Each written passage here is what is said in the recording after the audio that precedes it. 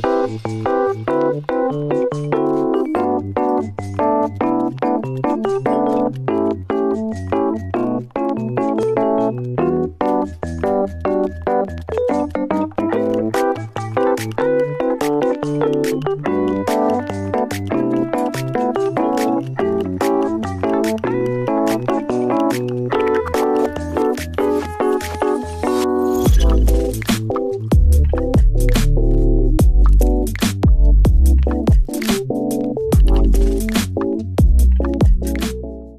えー時刻は夜8時を回りました。日曜日の憂鬱の時間です。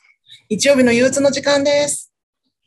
えー番組パーソナリティのカットしない美容師、中間公弘と、戦わない弁護士工藤敦子です。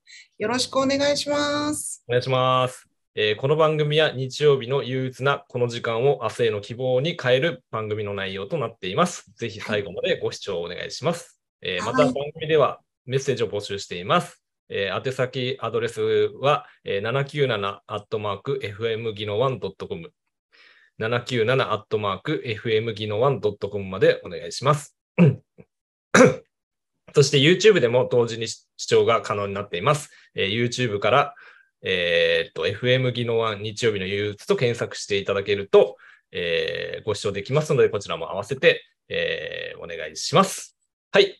お願いします。はい、ということで、今週も始まりましたね。あもう7月最後ということで、最後、早いですね。あっという間に、ねえ、もう夏休みに入りましたね。そうですね。まあ、割と7月は振り返ると、気温もそんなに高くなくって感じで、うんうんうん。って思ってなんですけど、そういう話をしてたら、うんえーとある人から、いや、去年もこんぐらいでしたよって言われて、実際見たら同じぐらいだったっていうんで、あんまり変わってなかったっていう、当てにならないんですね。当てにならないっていうか、ま 人の記憶は当てにならない。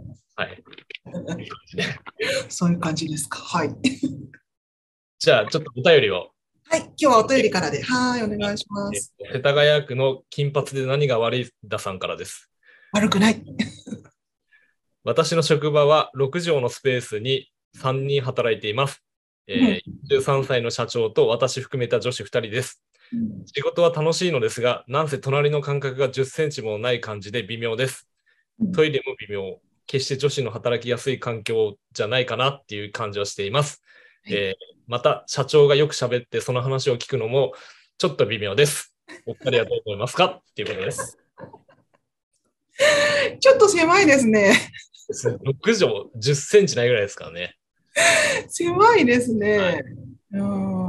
まあでもなんか楽しそうな感じは伝わってはきますけどね。あそうですね。多分楽しそうなのは社長が楽しそうなのかな社長が楽しい。感じがそうです伝わってきます。ね。はい、うん、社長楽しいんですかね。女の子二人いてね。いやー、43歳でうん20代女子2人いたら楽しいですよね。しかも間隔10センチぐらい。楽しいでしょうね。楽しいでしょうね、本当に。ねえでもなんか逆にこうどんな話題をしたらいいのか悩んじゃいそうですけうん、そうですね。ど。うん。今はね、うん、ね。13歳と20代がうん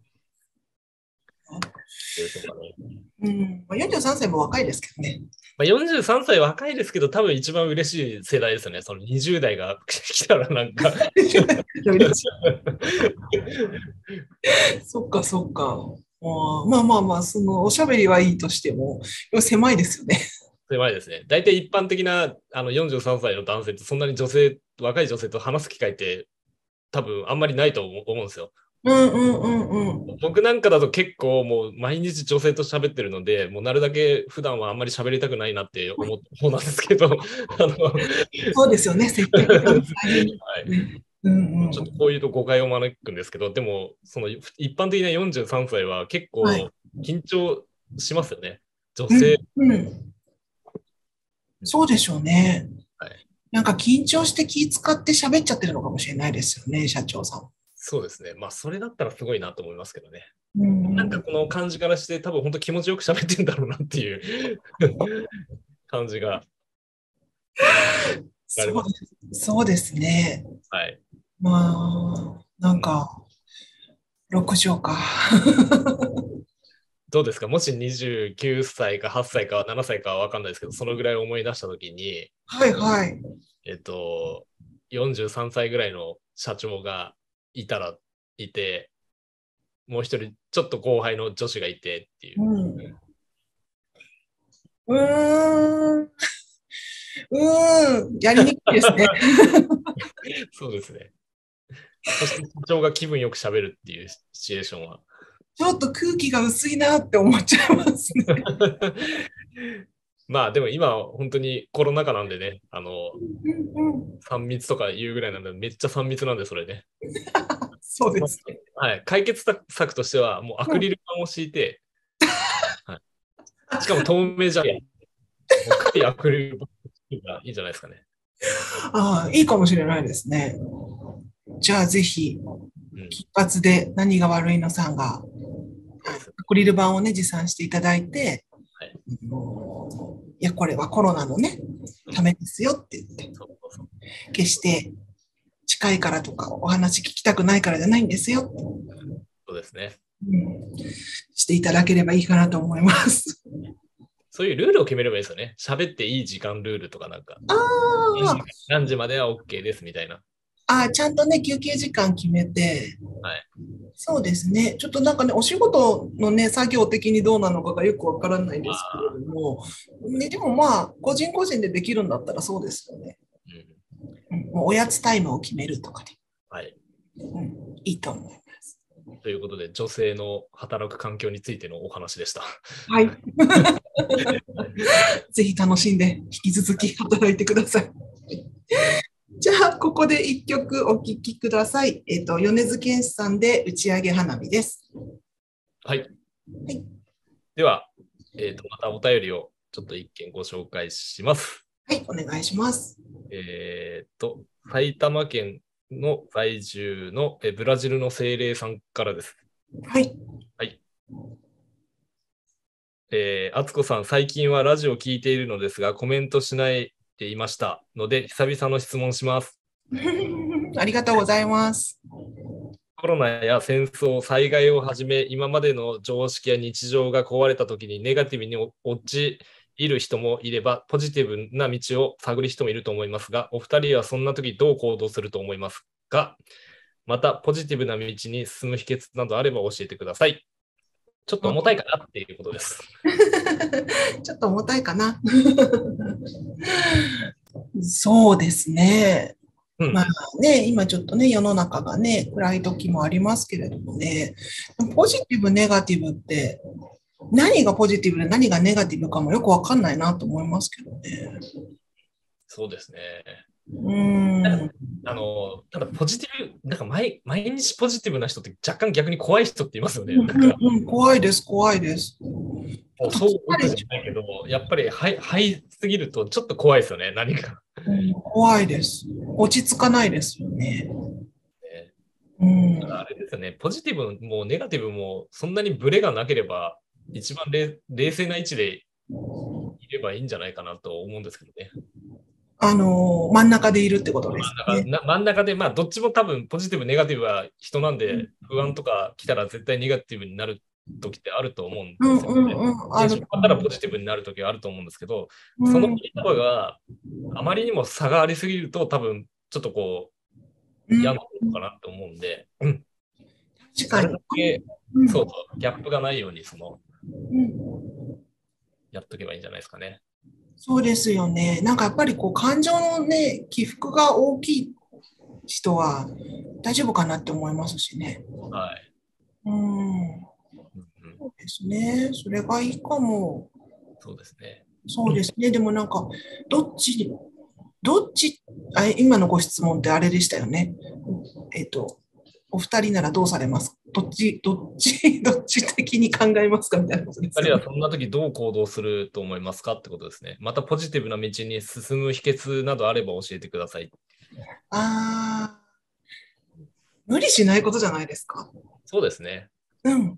あの、落ち込んだら落ち込んでおけばいい気がするんですよ、私は。で、今落ち込んでるなって思って、あの、そこまで行ったら勝手に浮かび上がってくるので、はい。はい。それでいいんじゃないかなって思いますけどね。なんかそのネガティブになるときって多分不安が多分よぎったときだと思うんですよね。はいはい。だから、その不安をよぎらないように、よぎったら消すとか、なんか、こうんう、うん徹底していけばいいのかなと思いますし、そうですね。なんかあのその不安の消し方も、あの、見ないようにするんじゃなくって、あ、不安なんだなって自分で気づいてあげるだけでうん。消えていくところがあるかなって私は思っていて、こう、何が不安かわからないから不安で、はい。あ、これが不安なんだって特定できると、それで安心するっていうところがあるかなと思うので、そうですね。うん、その特定してもらって、うん、解決策を分かればいいんじゃないかなっていう。うん、そうですね。で、なんかそれをこう、自然体でね、話す相手がいたらはい。いいですよね、一番。でも大体そういう不安のってどっから来るかっていうと、人と絡んでるときじゃないですかね、大体。あの、一人で不安には多分あんまりならないですよね。あの、あまあ、そのちょっと一人でって言って山で迷ったら一人で不安になるかもしれないですけど、そういうのって、なんか、やっぱり人に何かをやってもらうとか、何か仕事でお願いするとか、なんかそういうのが不安なのかなっていう、うーん、はい、な感じがしますけどね。そうですね。うん、確かに。うん、それはありますね。なんかいいことも悪いことも人との間に起こりますよね。ですね。うん、だから面白いんでしょうね。うんだから冷静に、冷静さを保つように訓練をしとけば普段から。なるだけ平常心でいるっていうね。そうですね。そうありたいものですね。だからうんポジティブな道に進む秘訣っていうのは特に多分ありますかね？ポジティブな道に進むのはあれじゃないですか？今のままでオールオッケーって思うことじゃないですかね。あ十分って。あ、はいはい、そうですね。うん。あでものそうなんですよね。うん。なんか欲が出ちゃうと、やっぱりそこに行かなきゃって思う、まあ、不安も出てくるし、うんうんうん。でも本当は今が一番幸せなんだなんでしょうけどね。うんうんうん。あの生きてるだけで。生きてるだけで丸儲けですね。はい そう思います。なので、まあ、ブラジルの精霊さんも、そのお名前からね、もうそのままで幸せそうですけどね。はいはい。はい。ということでした。参考になったら嬉しいです。またコメントください。はい。ぜひぜひコメントください。はい。はーい。じゃあですね、もう一つお便りいきますね。はい。今回はちょっと仲間さんへの質問なので、私から読ませていただきます。えっ、と、東京都カメラマンののりぴーさんからです。はい。と以前私は夏ならば1週間に1回、冬ならば2週間に1回ぐらいしか髪を洗っていませんでした。はいはい。あまり頻繁に髪を洗うと、かえって良くない感じがしています。また、ドラッグストアで購入するシャンプーで洗ってた時よりも、お湯でやるお湯シャンというか、そのお湯で洗う髪の方が髪の状態が良かったようにも感じます。そもそも髪って毎日洗う必要があるのでしょうか？中間さん、教えてください。とのことです。はい、結論から言うと、毎日洗う必要があります。24時間に1回は髪は洗わないと、まあ、ぬ抜けるものとか、あと角質とかあるじゃないですか。あれがちゃんと剥がれ落ちないんで、24時間で1回はリセットする必要があります。えー、そして髪を洗うタイミングとしては絶対に夜じゃないとダメで、よく朝シャンとかやる人いるんですけど、はいはいはい。基本的には夜1回でいいです。2回は絶対洗っちゃい、洗う必要はないので、はい。まあよく男性とかでもう夏暑すぎて、なんか家帰ってきたらすぐシャワー浴びて、また汗かいて、またシャワーあのシャワー浴びる人いると思うんですけど、そういう時はですね、まあとにかく夜1回シャンプー剤をつける感じでいいと思って、まああとは、まあなるだけ、あの、お湯とかじゃなくて、結構、あの、ぬるめの、あの、水、水だと冷たいんで、ぬるめのお湯で洗ってあげると一番いいと思います。もう流すだけで汚れって8割ぐらい落ちるんで、あとは、その、そうですね。あの、よく、その最初の、多分美容室のシャンプーと、あの、自宅でやるシャンプー、どこがどう違うんですかっていうと、まあ、根本的に全部違うんですけど、強いて言えば最初の流しを結構しっかりめにやるんですよね、シャンプーに入る前。シャンプーの前にですか？あそうです、そうです。それをまあ30秒から1分ぐらいやると、汚れの8割は落ちるって言われてるので。ええー、あ、そうなんですね。そうなんです。だからなんか、えー、はい。だからまあドラッグストアのシャンプーで洗うのがっていうのはまあもちろんそうなんですけど、はい。ただシャンプー剤は、あの、もしその化粧品とかいろいろなんかあるじゃないですか、トリートメントとか。はいはいはい。でもその一番最初に何かを美容に目覚めて何か変えないといけないと思ったときは、シャンプー剤のいいのを使った方がいいと思います。なるほどですね。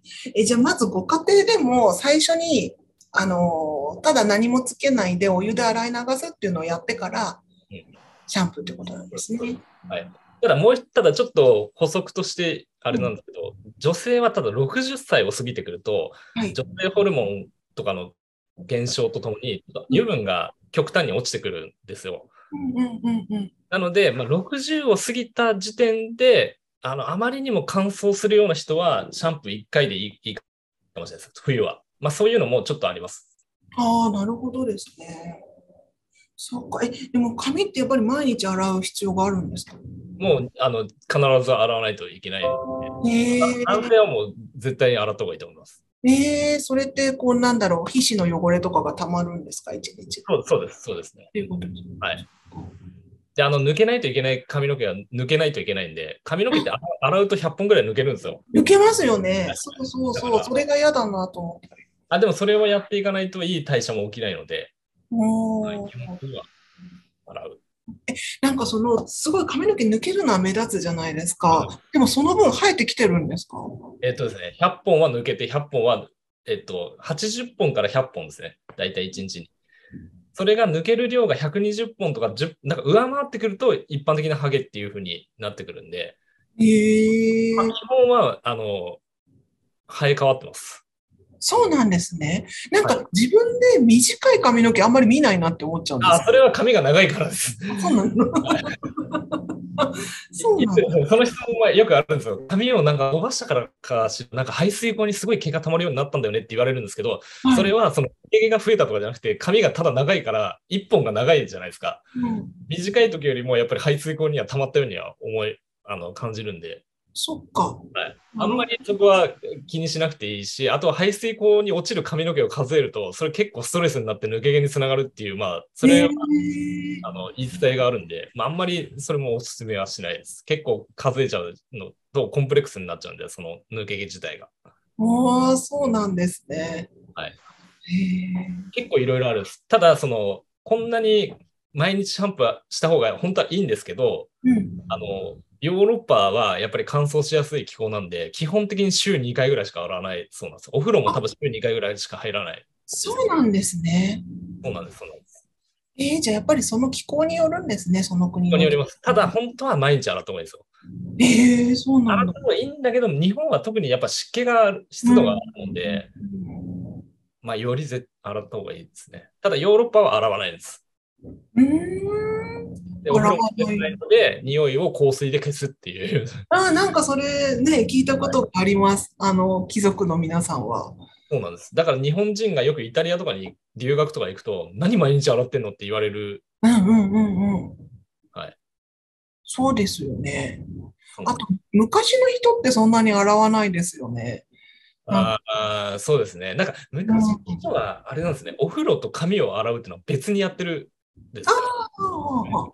だからなんか結構、その、あの、聞いた話によると、あの、なんか毎日お風呂入るんだけど、髪は2日に1回なのよねって言われたときに、最初衝撃を受けて、どういうことだよと思ったんですけど、あ、別々で洗って洗ってるんですねっていうので、やって意味が分かって。はいはいはい。で、なんか昔の人がなんで、あの、髪を毎日洗わないかっていう理由もあるんですよ。え、何ですか？何ですか？昔はやっぱりシャンプーじゃなくて石鹸で洗ったんですよ。はい。より油分とかを取っちゃうので、うん、取っちゃうので、あの、だから2日に1回じゃないと結構厳しいっていうのがあって、なんかそういう文化だったんです。でもなんか80年代、90年代になってなんか朝シャンブームとか、まあなんか1日2回洗いましょう文化がちょっとなんか定着した時期があるんですね。あんまり知らないですけど。そういうのから結構なんかそのちゃんと毎日シャンプーは家でするっていう。まあこれ話すとめめちゃくちゃ長くなるんですよ、いろいろ。もっと言うといろいろあるんです。その昔はその日本人は、あの、なので、ちょっとセレブな人は、うんあの、美容室でしか髪は洗わないっていう、で、セットもらってっていう感じだったんで。なんか、前あの、おばあちゃんがそんなこと言ってました。はいはいあ。髪の毛は美容院で洗うものでしょって。そうなんです。だから今の80代ぐらいの方で、まあ、うちのクライアント様でもいらっしゃるんですけど、週に1回うちで洗ってセットして、また週に1回来て、その間は洗わないっていうことですね。面白い。ちょっとこの話題は、なかなか時間が足りないですね。そうですね。まあ、ちなみにその年配の方はですね、はい。コロナ禍になった時にやっぱり来れないじゃないですか。うんうんうん。はいどうしたんですか？自分で洗ったみたいです。洗えるんだっ。一応シャンプー持ってたんですねって。うん、思ってたんです。3年前のやつだけどねって言ってましたけど、多分3年前のやつって言っても、多分ずっともうずっと毎日のように洗ってるんで、うんうんうんうん。はえはい、みたいです。ー、えー、面白いですね。なんか髪の毛は話題に事欠かないですね。髪の毛はそうですね。ねえーまた髪の毛への質問はもう何でも、あの、ほんとこいなんで。お 仲間さんが嬉しそう。あの皆さん喜びますので、ぜひぜひ、紙に関するお便りお待ちしております。はい。はーい。ってな感じで、うん。えっと、手相コーナーに水槽コーナー行きますか？はい。はーい。手相コーナーお願いします。はい、ありがとうございます。じゃあ、工藤敦子の手相コーナー、今日はですね、あの、S なのか M なのかを判断していただこうかなと思ってます。はい。手相を見てですね、あこれ、ちょっと左と右どっち見るんですかっていう、あの、うん何ですか、質問あったりするんですけれども、左、まあ、基本的には左手が持って生まれた運命で、右手が今の状態を表すって言われてますね。だから、まあど、どっち見ていただいてもいいと思うんですけれどもね。で、えーっと、人差し指と中指の間から、ちょっと下に向けて、えー今左手見てますけど、左手を見ると、こう、えーっと、右下に流れるような感じの線。はいはいはい。これがあると S 線。あー、で、はい逆に薬指と小指のところからの間から左下に流れてるのが M 線。おーどどっち？っちも、どっちもありますね。これね、私もどっちもあるんですよね。うん。どっちもあるけど、どっちかっていうと M 線の方が強いのかな、これ。うん、私もどっちもあるんですけど、どっちかっていうと S 線の方が強いのかな。あそうなのか。ー。うん。うん、もう、まあ、え S 線、M 線ってあ、あのー要は何ですかね、自分がこう、決めていきたい人なのか、ついていきたい人なのかっていう見たりとか、あのまあ、そういう気質みたいなのでね、はい。